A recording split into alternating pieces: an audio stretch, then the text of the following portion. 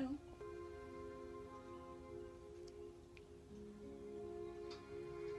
Sounds good. Do you want an enchilada? If you do, I'll call one.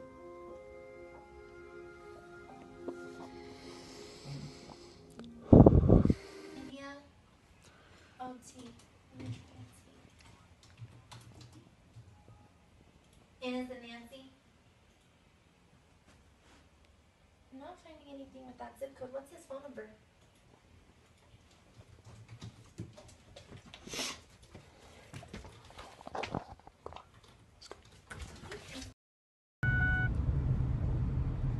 All right, so headed to the little workout center right now. Wouldn't really, I'm, we'll call it a gym, but it's really an apartment gym, so that's why it's pretty limited.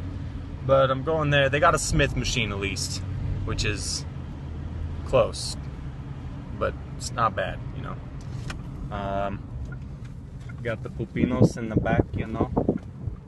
And uh, here's what it looks like. Capstone, Evilajo.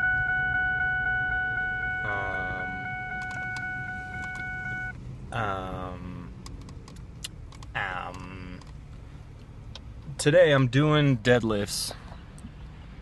Normally, for deadlifts, heh, mind your own business. Thank you. Um, some guy in his car looking at me.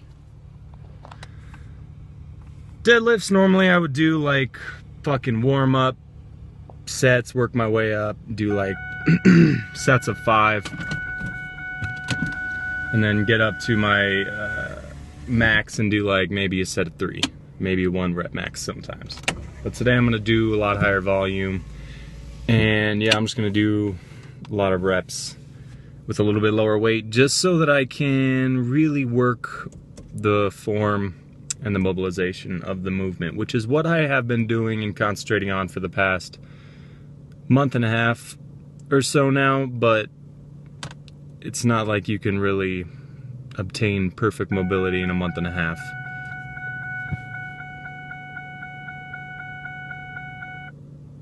Sorry. Excuse me. Excuse you, car. Basically, just still working on a little bit of good mobility and uh, form.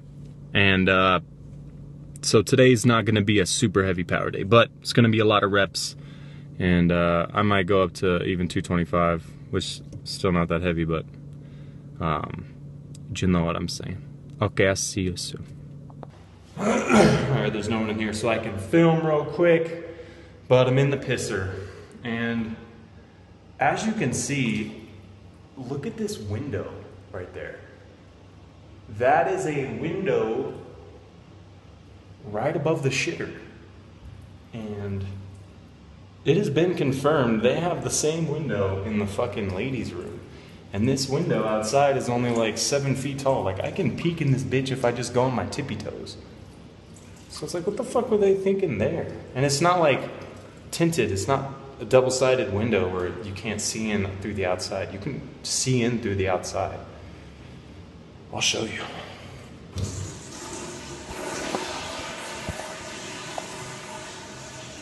Look, I'm six foot three, okay?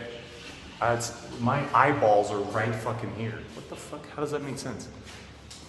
Bitches could be getting peeped on. I don't give a fuck. You can see me taking a piss or taking a poo. I don't give a fuck.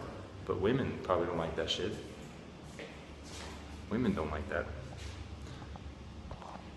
Anyways, time to deadlift. Let me wash my hands real quick. Um, it's so hard to film in this fucking gym. A, because I have a phone. I don't have a tripod. It's so hard to set it up on anything, but that's no excuses. I will set it up. Check out this super cool footage of me washing my hands.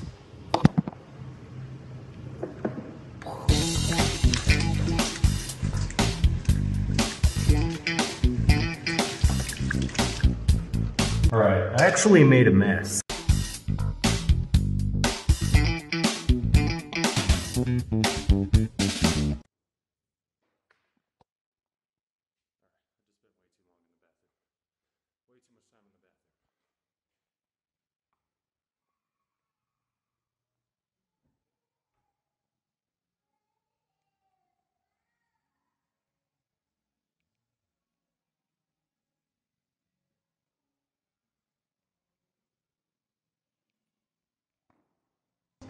Obviously, like I said, I was working on mobility and form.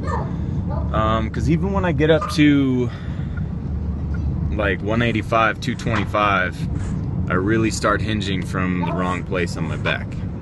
Start breaking my back real bad.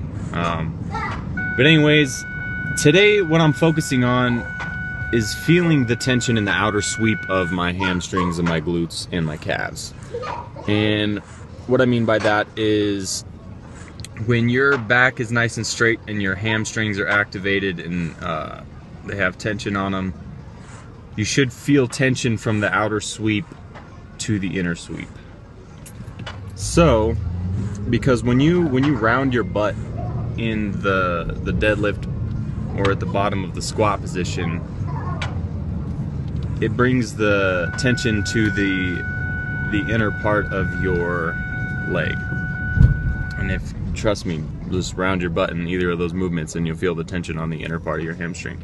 If you have your hips popped out and your butt extended like it should be, you should feel the tension on the very outside of your legs and your calves all the way down. So mainly I'm focusing on trying to make sure that every rep I feel that perfectly and I feel like a lot of tension on my hamstrings and my calves but mainly on the outer sweep. Because I for a while when I was when I was working up with deadlifts I would pay attention to that but not as much as I should have and the lift would always fall on the inner the inner sweep and that's what was building which is wrong because that's what builds the rounding.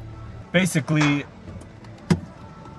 with the uh, with the sumos, you can see it's easier for me, even though the the plate is about two inches higher off the ground than it normally would be, just because of the way that machine's set up. I have to stand on 245 plates for it to be a normal uh, bar position. Um, the sumos, it's easier for me to straighten my legs but that's because when you have your legs farther apart, it doesn't force your butt to be as popped out. You can have a more rounded butt and still have a flatter back overall. That's why when you have a when you're doing conventional, your legs are closer together, it's harder to put tension on the outer sweep of your hams and your glutes because you have to have a complete your both of your hips have to be completely popped together if that makes sense. And when you're looking at the clip if you're looking at the clip before um, I even started my my set of 135 I was popping my legs in and out. And I'm doing that pretty much on all the deadlifts. I pop my legs one at a time in and out. And that's because I can't pop both of them at the same time with the same amount of hip extension as I can with one leg at a time, if that makes sense. So I'm gonna keep doing that until eventually both legs become so comfortable popping out that they meet each other and then they both pop out. Because right now I can't pop them both out. I can't pop both my hips out at the bottom. Uh, my hamstrings will not do it. So that's really what I'm working for is trying to get get it so that at the bottom of every rep, I can completely straighten my legs with a nice straight back and fill my stomach with air to get the proper positioning. I know this is kind of confusing, but I'm going to make a different video with specific diagrams that I'll draw, and it'll just make it so much easier to understand. Anyways, uh, I'll let you get back to uh, whatever. Peace done with the deadlifts. Now I gotta do, obviously I'm gonna do more back and biceps, but I gotta do some calves. And what I wanna say about calves is, man, you really gotta work, okay, mostly all the muscles in your body, you've gotta work from full point of tension to get the maximum benefits. So if you were working your biceps, you want to work it from your bicep and total extension and then work it from here to here. Am I right? Instead of making this your bottom position this wouldn't be fully extended. It's the same thing with the deadlift and your hamstrings and your glutes and the squat. It's the same thing with all the muscles in your body. So my point is calves are fucking tough to get in full extension because you can't just pull your toe up. You can't just pull your toe up and have your calf be in full extension because your hamstring being tight will also make your calf tighter. So, in order to get your calf the tightest, you need to be able to really extend your hamstring and then extend your calf. So that's why I feel like the standing calf raise machine where it has it goes on your shoulders, you can really get that extension because you have a platform to step on with your toes so you can drop your heels and you can really lean forward to stick your butt out while you're doing it. Because when I do that machine, I fucking feel the tension in my calves like none other. Or the other machine where you're sitting down and it's like a plate or it's a bar right here and you're lifting it up like this, if you know what I'm saying. Because I don't know how, I guess because you can get the angle of your, your shins so far forward, you can really get a, a deep toe stretch.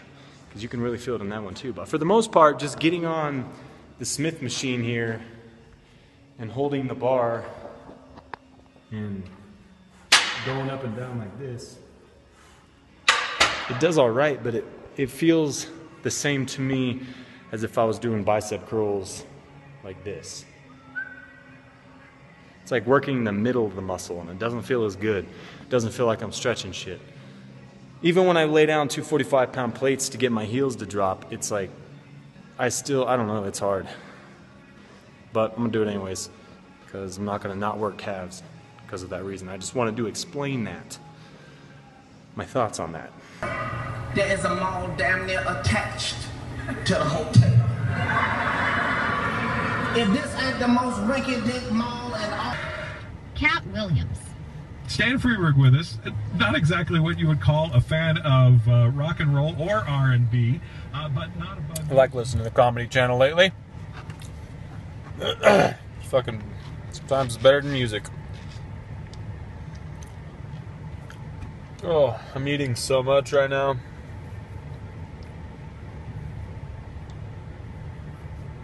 I just had uh, just five scoops of rice and four scoops of beans from Chipotle, which is about 1,700 calories. And it's, I'm getting full. That didn't make sense. I am full. And I'm gonna go finish my workout because I ran out of time earlier because I had to run home. So I'm gonna go back in and do back and biceps and probably some more deadlifts.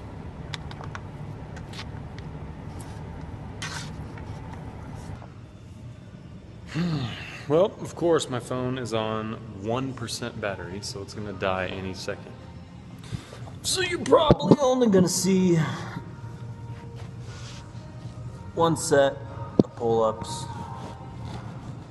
But I'm doing pull ups and then I'm doing lat pull down and then I'm gonna do biceps.